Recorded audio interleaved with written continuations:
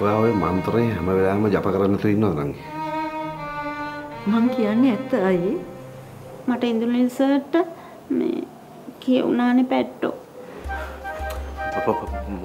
මොනවද කිව්වා? ඈ? ඔයා මොනවද කිව්වේ? ඔයාට හිතනවද